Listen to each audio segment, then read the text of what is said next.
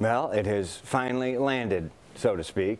Seven years ago this month, NASA's OSIRIS-REx mission blasted off to an asteroid named Bennu. Its mission to collect samples of the asteroid and return it to Earth. Well, after traveling nearly 3.9 billion miles, a very wow. long journey, OSIRIS-REx is about to deliver the precious cargo. Mm -hmm. And we don't know a lot about this. We're not the experts here, so we're going to bring in someone who can talk about this incredible accomplishment, Stephanie Getty, Goddard Solar System Exploration Director for NASA. Yeah, that has got to be uh, the most official and important title we've ever had here on the CBS News stream. So first of all, congratulations on that.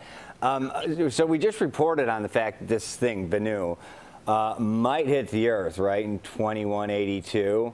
So, you know, no worries about that. We'll be long gone. I, I, digress. But what can you tell us about what you are hoping to learn from the samples that might be returned from what you collected from said asteroid?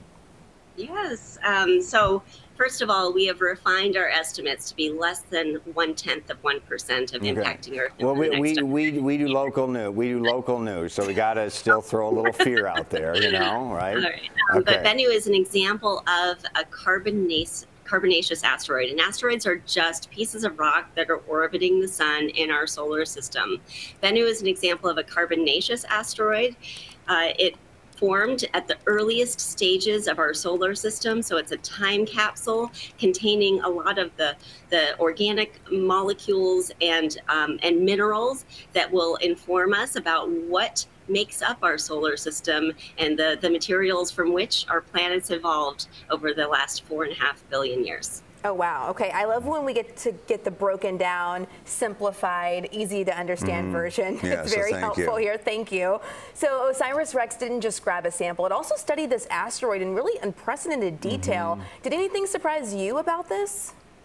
Yeah, so um, OSIRIS-REx launched back in 2016. It, it, took its time getting to Bennu, and then it orbited Bennu for two years. So that gave the instruments on OSIRIS-REx a really good opportunity to study Bennu uh, from there. And we, we learned, you know, things that we expected, like the minerals contain water, and then things that were surprising to us. We kind of expected a lot of, um, you know, large regions of sandy material that would be really easy to sample Turns out Bennu is more rugged than that, um, and so the surface is is decorated with these these boulders and rocks, um, so a lot more rugged than we we expected. Why this specific asteroid chosen for the mission? It's, is it proximity to Earth, et cetera? And, and, and is there proof from previous missions, uh, whenever it be, have findings in outer space ever led to to, to improvements, uh, you know, on Earth. Uh, you know, that, that, we actually can, can, you know, empirically say this helps us day to day.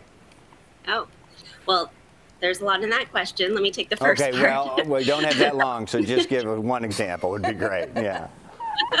so Bennu um, is uh, is the, the, reason that we chose Bennu is for a combination of reasons. One is that it is accessible. Uh, it's close by Earth, rel relatively speaking, and so the mission uh, could get there and back um, in a reasonable amount of time.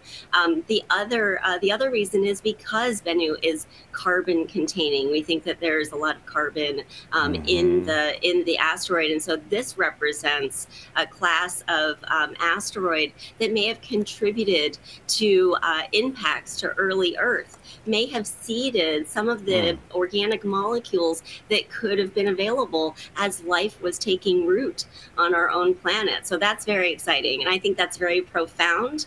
Um, and I think study, you know, studies like that will inform uh, our understanding of how we got here and and uh, and why Earth is such a, a special planet. All right. Well, we have less than 30 seconds left, but we really wanted quickly wanted to ask you how hard is it to collect samples from such a fast moving target? Yeah.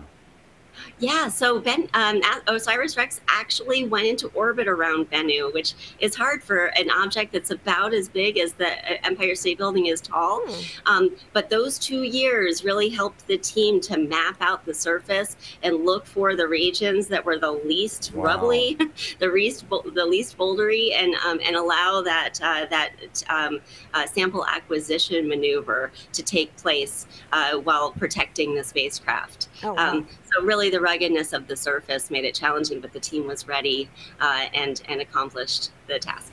I'm glad they were. stuff. All right, well, Stephanie, I said your last name wrong earlier. It's Stephanie Getty. Thank you for Mm-hmm. being with us. I appreciate your time. We appreciate you from the Goddard Solar System Exploration Director for NASA. Thanks for your time. Yeah, thanks for your time and thanks for what you do for us. We appreciate it.